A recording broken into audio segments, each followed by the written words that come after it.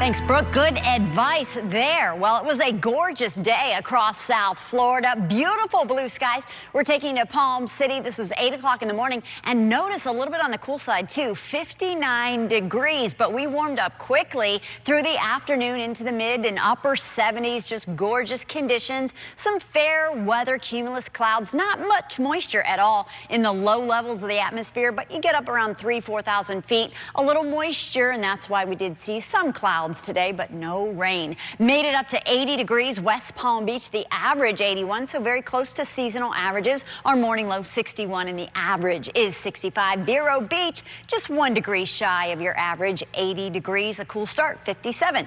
Right now in West Palm Beach, we're looking at fair conditions, mostly sunny skies, 75 degrees. Dew points still in the upper 50s. When we have dew points in the 50s, that's relatively uh, dry air for our South Florida standards. And our wind out of the east at 12. So current readings very comfortable out there, mid to upper 70s along the coast. And then inland, we do find readings in the low 80s for Okeechobee, 81 there, 80 degrees in Wellington and 78 degrees in Clewiston. Now, on Viper, we stay dry. This will be the scene tomorrow and Tuesday, too, through the first half of Wednesday, and then some changes coming.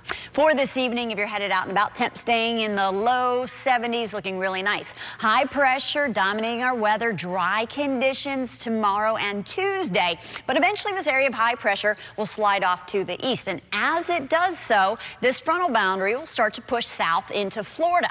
So Thursday, actually Wednesday night into Thursday morning, we're looking at a chance of showers and maybe an isolated storm. But right now the storms shouldn't be strong or severe. That front will push through slowly. So Thursday kind of a transition day and then Friday temperatures a little bit cooler. So the next few days, high pressure slides off. Very nice weather. Monday and Tuesday, mostly sunny, staying dry. But as we head into Wednesday, here comes the rain. They'll be pushing into north and central Florida by Wednesday afternoon into our area the second half of Wednesday through early Thursday. And here's another look of that frontal boundary coming on through. For tonight, 67 degrees, mostly clear. Winds out of the southeast at 5. Tomorrow, for Monday, mostly sunny, 82 degrees, southerly winds at 10, and really nice boating conditions. Seas 2 feet.